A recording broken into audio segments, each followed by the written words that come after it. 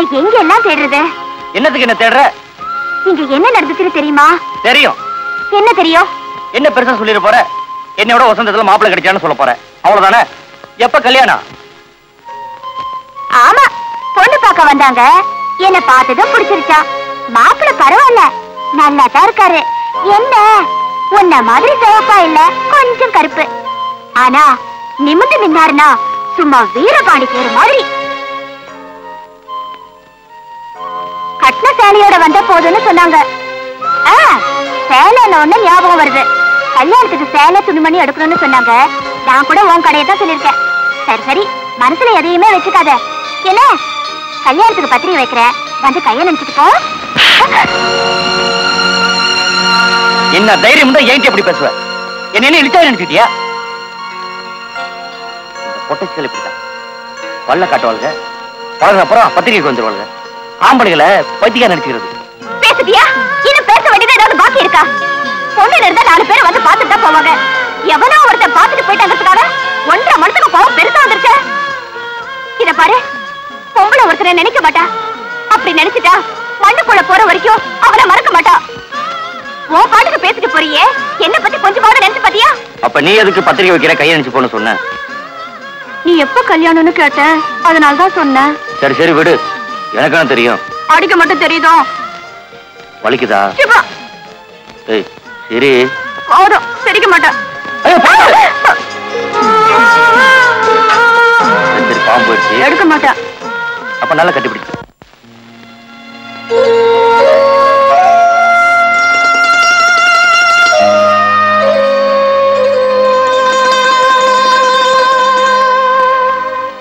இருந்தாலும் பாக்குறப்பெல்லாம் மருந்து சாப்பிடுறாரு. கோதைக்கு சாப்பிடுற மாதிரி தெரியலையே. தாத்தா மருந்தா சாப்பிடுற நான் ஏன் மருந்து சாப்பிடுறேன்? என் உடம்பு நல்லா இருக்கு.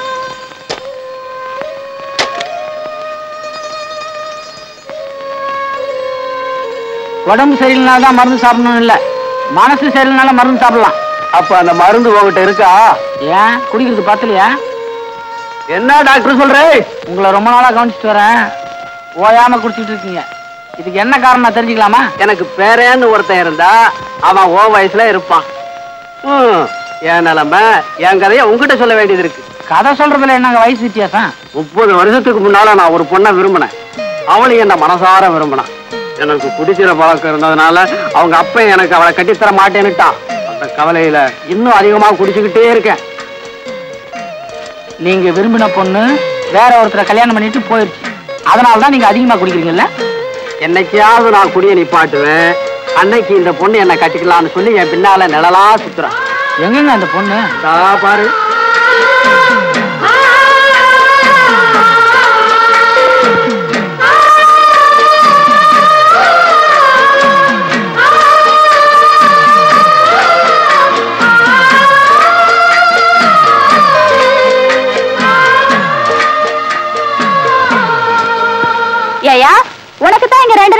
போச்சுல இன்னைக்கு அவ வீட்டுல தானே சாப்பாடு? அதை விட்டுட்டு இங்கே வந்த? உன் கைப்பட்டாலே தனி ருசி கண்ணே. அந்த ருசிக்காகத்தான் ஓடோடி வருகிறேன். கண்ணே. அத்தான். இன்பம் பொங்கும் வெண்ணிலா வீசுதே. உன்னை கண்டு என்னை கண்டு? இன்பமா? பாடுவியா? பாடுவேன் ஏய்யா இவதான் உன் கண்ணுக்கு பொண்டாட்டி தெரியுதா? உன் மனசுல என்ன நினைச்சிட்டு இருக்க? இன்னைக்கு ஞாயிற்றுக்கிழமை ஏன் வீட்டுக்கு வராம இங்க உட்காந்து கொஞ்சிட்டு இருக்கிய? நான் கொஞ்சம் வீட்டா இருந்தேன் அடுப்பு பார்த்து வச்சு ரெண்டு நாள் ஆகுது. நான் அரிசி பருப்பு இல்லாம அல்லாடிட்டு இருக்கேன். உனக்கு இங்க உல்லாசம் கேக்குதா? வடிய சக்களத்தி ஏன் புருஷன் கிட்ட நான் எப்படி இருப்பேன்? நீ என்ன கேக்குறது? புருஷன் உனக்கு மட்டும் சொந்தம் இல்ல. மூணு பேருக்கு பங்கு இருக்கு. வெட்டி எடுத்துங்கடி. பேசாம இருங்க. அவர் என் வீட்டுல இருக்கிற வரைக்கும் எனக்கு தாண்டி சொந்தம். இவன் மரம் முடிஞ்சு போச்சு. வா எப்படி அப்பா கண்ணே.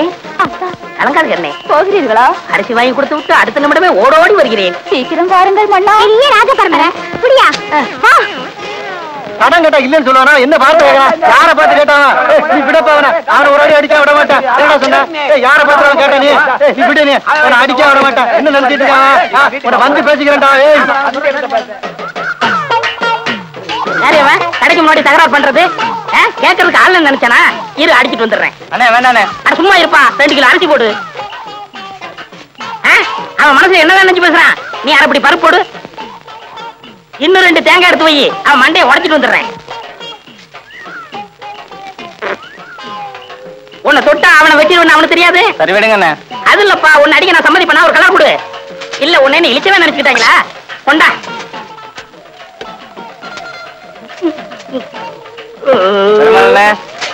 வீட்டுல போய் வெட்டார எடுத்து வந்துடுறேன்.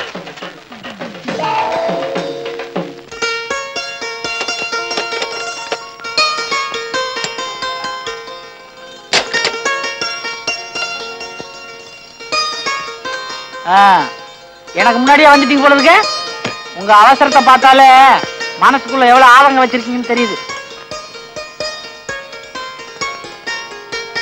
பாட்டி இதை புடி பாட்டி காலம் இறந்து வைக்கப்பட்டுக்கிட்டு. தாத்தா அதை பிடிங்க. மாலை போடுங்க. ஆ, போட நீ போடு. போடு. அடாடா வெட்டத்தை பாறையா.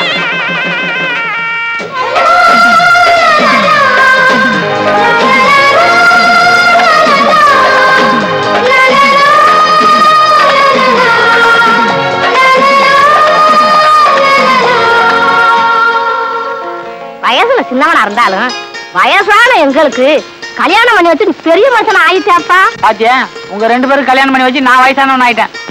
இந்த பாட்டில் எந்த பாட்டில். எந்த பாட்டில்? இந்த பாட்டில். நீ கில்லர் தான் தாத்தா. பாட்டி இவரை முச்சந்தி கூட்டு போய் இவர் தலையில மூணு சுத்து சுத்தி இந்த பாட்டில நடு ரோட்ல போட்டு விட ஜோடி பொறுத்து நல்லா இருக்கே. எங்க? இப்ப நீங்க செஞ்சிருக்கிற காரியத்தை பார்த்தா எனக்கு எப்படி இருக்கு தெரியுமா? எப்படி இருக்கு? அவங்களுக்கு போட்ட மாதிரி உங்க கழுத்துலயும் பத்து மாலை போடணும்னு ஆசையா இருக்கு. மாப்பிள நான் உன் தங்கச்சி கட்டிக்கிறேன்னு சொல்லி சொன்னதுனாலதான் நீ ஏன் தங்கச்சி கட்டிக்கிட்ட? ஆனா உன் தங்கச்சியை நான் கட்டிக்கிற முடியாம போச்சு. அதனால இப்ப என் மகனுக்கு உன் மகளை கட்டி வைக்க போறேன். என்ன சொல்ல சொல்ற? பழசு பட்டையெல்லாம் விட்டுட்டு பாத்திரம் பண்டத்தை பத்தி பேசுங்க. வார்த்தை தவற மாட்டாமா? இந்த வருஷ நாட்டுக்காரன். அது சரி. ஒண்ணு என்ன படிச்சுக்கா கழுத்துல கைத்த கட்டினா வயித்துல சுமக்க போறா? அதுக்கு அதுக்கு படிப்பு? ஆயிரத்துல ஒரு பேச்சு தங்கச்சி. அப்புறம் என்ன மாப்பிள? அடுத்த மாசம் நல்ல நாள் பார்த்து வெத்தலை பார்க்க மாத்திருவோம் அப்ப சரி ரொம்ப நல்லது. வண்டிக்கு நேரம் ஆச்சு நாங்க புறப்படுறோம். சந்தோஷமா போயிட்டு வாங்க. வரமதனி அச்சா மருமக மருமக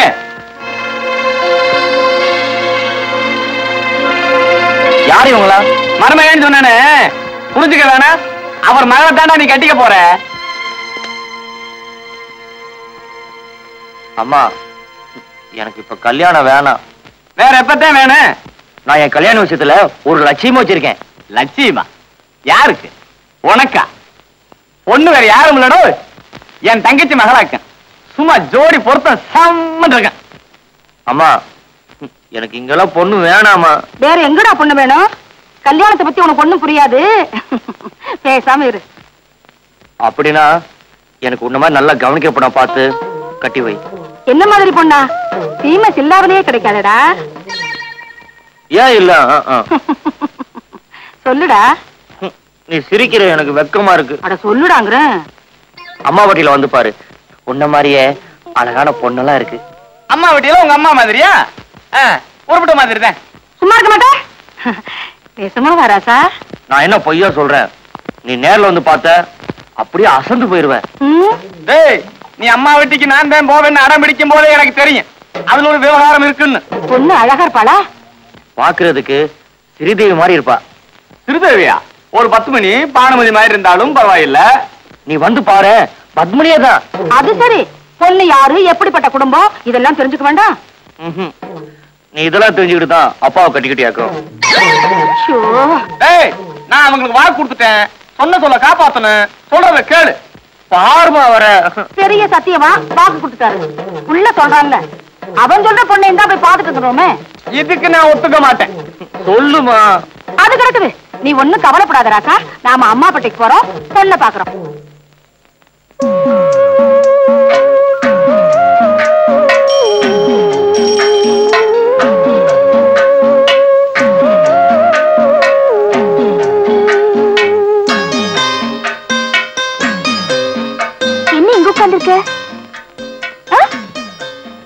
சும்மாதான். இல்லையே இப்படி உட்கார மாட்டியே? நீ இப்படி உட்காரு. என்ன? ஒரு கால கொடுமைக்கு கற்காண்டி போய் காவடி எடுத்துச்சா. என் சொல்ல வந்தது சொன்ன என்ன? சரி நான் வாரேன். சொல்றதுக்குள்ள அவசரப்படுறேன் என்ன? சொல்லு. ஒண்ணும் இல்ல ஐயோ சொல்லு. இல்ல வந்து நேத்து வீட்டுக்கு போனா கோச்சிக்க கூடாது வேணாம் நீ சங்கடப்படுவ. சொல்லுண்ணா. நேத்து வீட்டுக்கு போனா அங்க ஒருத்தர் உட்கார்ந்து இருந்தாரு யாருன்னு கேட்டேன். இவர்தான் உங்க மாமா. இவர் பொண்ணதான் நீ கட்டிக்க போறேன்னு. எங்க அப்பா சொன்னாரு. சும்மா தானே சொல்ற? என்னது? சும்மாவா? சொல்றத கேளு. நகை எவ்வளவு தெரியுமா? இருபத்தஞ்சு பவுன். அப்புறம் ரெண்டு ஏக்கர் நஞ்ச. எல்லாமே வைக்கா பாசனா வைக்காட்டி வீட்டுக்கு போயிட்டு வரதுக்கு ஸ்கூட்டர் வேற வாங்கி தர்றாங்க. நாளை இருந்து ஸ்கூட்டர் வேற ஓட்ட பழகிடணும். இன்னும் ரெண்டு பெரிய ஜவுளி கடை டவுன் வச்சு தராங்களா அப்புறம் பொண்ணு எவ்வளவு படிச்சிருக்கு தெரியுமா? காலேஜ் போய் பீஸ் படிச்சிருக்கா அடடா! படிச்சவளா நான் படிக்காதவதா உன்னை என் கூட பேச சொன்னேனா? இல்ல பழக சொன்னேனா? நீ படிச்சவள பார்த்து கட்டிக்க. நான் வசதி இல்லாதவதா பக்கம் இல்லாம புள்ள இருக்கிறவதா நீ என்னையெல்லாம் போய் கட்டிக்க முடியுமா?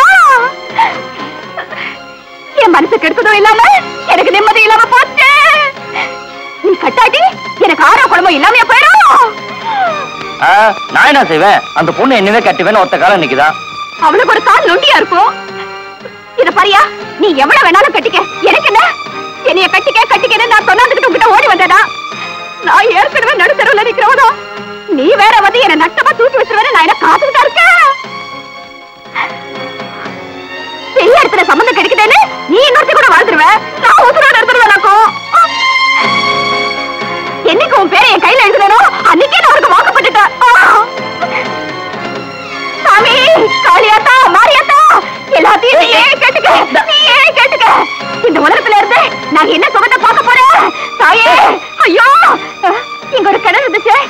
எங்க காணோம்? ஏய் சொன்னது கேளு.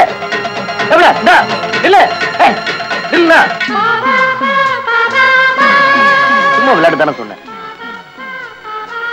கொஞ்ச நேரத்துல உனக்கு எவ்வளவு ஆ? அப்படித்தான் வரும். அப்பயும் கிணத்து பக்கம் வந்து? தண்ணி குடிக்க வந்தேன். உன்னை பிடிச்ச இந்த கை வேற எவ்வளவு பிடிக்காது. நாளைக்கு எங்க அப்பா அம்மாவோட உன்னை பொண்ணு பக்கம் வரேன். இந்த குருவி கொண்டெல்லாம் கழிச்சிட்டு நல்ல சீ சிங்காரிச்சு தலை நிறைய மல்லிகை போச்சு. சும்மா மகாலட்சி மாதிரி இருக்கணும். வரட்டா?